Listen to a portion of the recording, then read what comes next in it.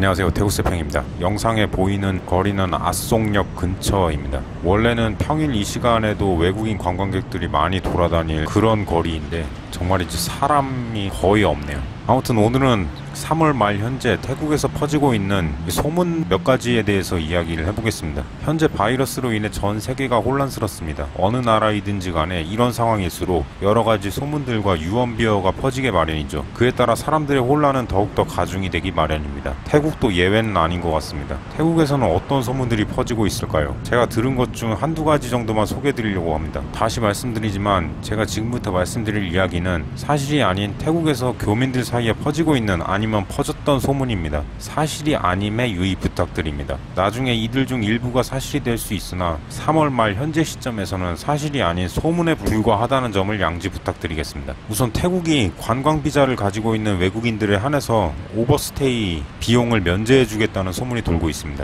그러니까 허가 날짜를 초과해서 태국에 체류했을 때 내야 되는 벌금을 면제해 주겠다는 그런 이야기인 것 같은데 이는 현재 바이러스로 인해 출입국이 제한되는 나라가 많아서 귀국이 어려워진 외국인 관광객들을 배려하고자 하는 취지라고 합니다. 그리고 이런 소문도 있습니다. 귀국이 어려워진 외국인들을 위해서 6월 30일까지 외국인들의 비자를 무조건부로 연장해 주겠다는 소문도 퍼졌습니다. 그러나 이는 아직 공식적으로 확인된 바가 없습니다. 지난 3월 26일 태국 정부가 국가 비상사태를 선포했습니다. 3월 25일경에 태국 교민들 사이에서 국가 비상사태를 선포하면 방콕에서 통행 금지가 이루어 질 것이고 그 통행 금지가 몇 시부터 몇 시까지인지에 대한 소문이 매우 무성했었습니다. 어떤 사람은 오후 7시부터 다음날 오전 7시까지이다. 어떤 사람은 오후 8시부터 오전 5시까지이다. 어떤 사람은 24시간이다. 등등 매우 다양한 소문이 돌았으나 결국 26일 국가 비상사태 선포 내용에 방콕 통행 금지는 없었습니다. 다만 우리나라로 치면 합 동 참모본부 합참의장 정도 지위에 있는 폰피팟 벤야시 장군의 이번 주 주말에는 되도록이면 집에 있고 최소 일주일은 그렇게 해달라. 국가가 강요하기 전에 자발적으로 집에 머물러 달라. 그렇지 않으면 전면적인 24시간 통행 금지를 실시할 것이라는 경고 정도가 있었을 뿐이었습니다. 앞으로 어떻게 될지는 미지수입니다. 지금 영상을 제작하고 있는 이 순간에도 태국에는 굉장히 많은 소문들이 퍼지고 있고 많은 사람들이 혼란스러워하고 있는 줄로 압니다. 태국에 계신 분들이나 아니면 태국에 오실 분들이나 이러한 소문들을 무조건 맹신하시지는 마시고 주 태국 대한민국 대사관에 코로나19 관련 동향 게시판에 나오는 공식 발표들을 보고 행동하시길 부탁드리겠습니다. 지금 현재로서는 그곳에 있는 정보들을 보고 의사결정을 하는 것이 가장 좋은 방법이라고 여겨집니다. 이상 태국세평이었습니다. 끝까지 봐주셔서 감사합니다.